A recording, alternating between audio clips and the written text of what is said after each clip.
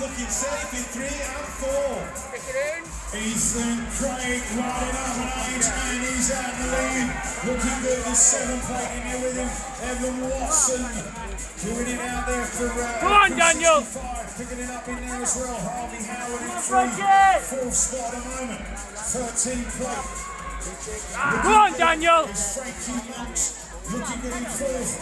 But Ethan Craig has ripped this quarterfinal apart. He's going to take it on Watson. We'll go three. And two.